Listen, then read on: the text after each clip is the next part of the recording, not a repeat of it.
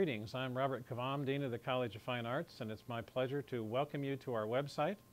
And I would certainly encourage you to look at the videos we have on our website, particularly those with the David Owsley galleries, which are new thanks to the refurbishment of that facility.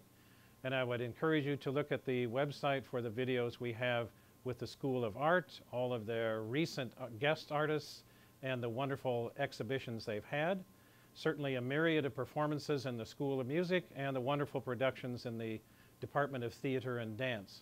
We hope that you can be with us here on campus, but if you can't, you can live vicariously through our website, and we thank you for your support.